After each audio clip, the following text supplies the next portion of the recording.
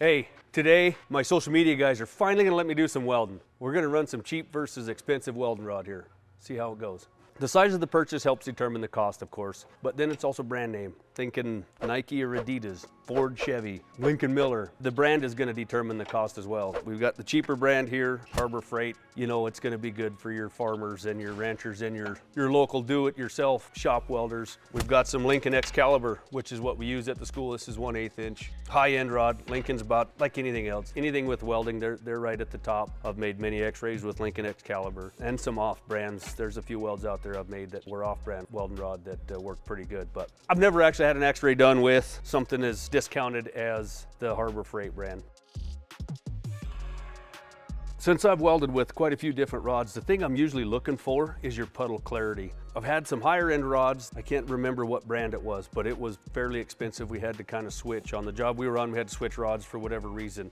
And we went from Lincoln Excalibur to another rod. The other rod was quite a bit more expensive because some alloy elements they put in there. But anyways, both 7018. The rod we went to, higher end, the puddle was super muddy. The slag wouldn't get out of your way.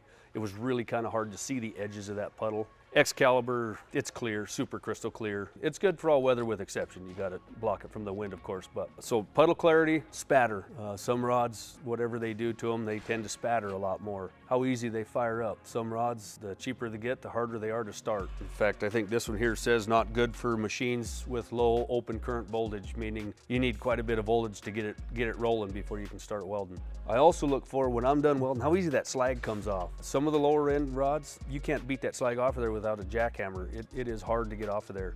What are the test parameters we're gonna be doing?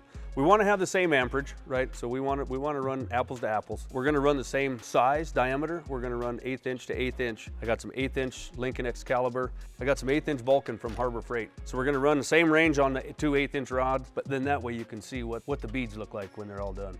I think we're gonna start a weld with each rod. We're gonna get the camera in there as close as we can and see if we can see how clear the puddles are. Of course, the camera hardly does it justice. It, it's hard to get that part done, but we'll see how clear the puddles are. We're gonna see how nice the slag comes off. We'll let it cool off and see if that slag peels up like 7018 should. We'll also see how easy they start. Now, I know how Excalibur starts. That's one of their calling cards is how easy it is to start and restart. If anybody knows anything about 7018, makes a coating on the end of that rod. When you go to restart it, if you don't know what you're doing, you'll never get that thing to fire again.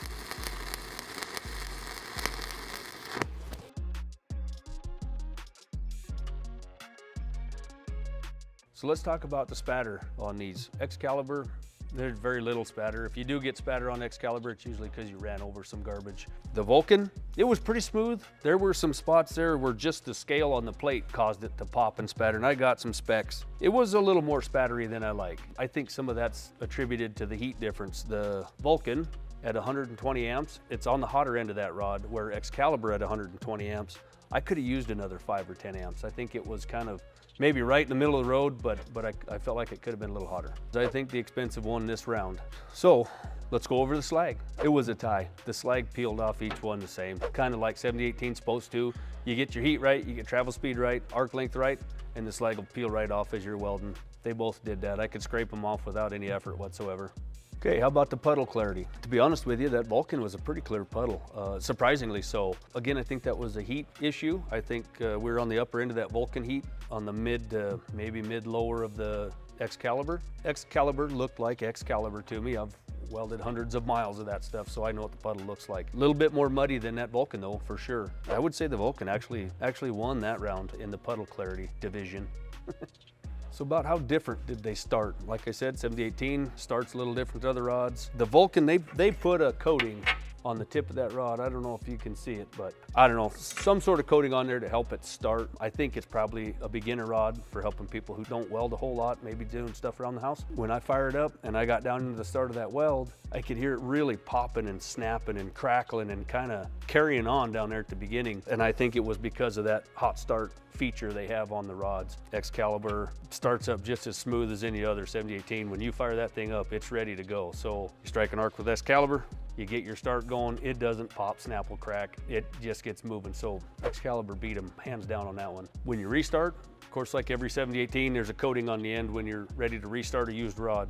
You got to break that coating off. A lot of beginners, they'll take their rod out of their stinger, beat the coating off and then get rolling. I don't do that. I just tap and scrape at the same time and eventually get it to go. Excalibur, two taps and a scrape and it, it fired up. The Vulcan, uh, it was a little bit tougher and it wasn't quite as smooth once it started to get going. I think it beat some of that flux off of there. Who won the whole thing? Vulcan, I think the clear puddle worked out for it. However, the spatter was a little bit excessive. The startup was a little bit strange. It didn't work very good. Slag was a tie, right? So Vulcan's got two strikes. Excalibur, tried and true. The reason there's multi-billion dollar industries using Excalibur in those higher end rods. Puddle wasn't as clear, which is surprising. I was expecting something different, but the restart was smooth, smooth as ever. Spatter was limited. Uh, I think they designed that in because when you're welding high pressure pipe, you can't have a bunch of spatter outside of the weld zone. And the slag, slag peeled off like 7018 slag's supposed to peel off. So with all that said, I, I think the, the Excalibur won all the way around, but it makes sense. They designed that for big industry. You know, if you're gonna use something at the shop and you don't need a 50 pound can of eighth inch 7018 Excalibur, go get you a two pound bundle of the Vulcan. It'll do what you need it to do. I don't know how many times I've said this. If you like the content and it was helpful, like, subscribe, follow, hit the notification bell. Maybe it's in here. I don't know where they can put that thing, but you know how it goes. Make the next weld better than the last.